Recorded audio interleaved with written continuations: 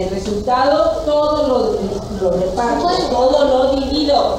Acuérdense que cuando estoy con mi compañero, como soy equipo de dos, entre los dos lo resolvemos. No nada más uno solito lo hace y el otro le copia, ¿eh?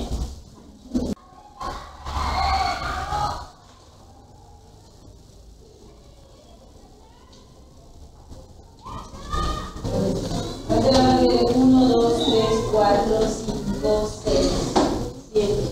A ver, vamos a ver. Por ahí algunos no leyeron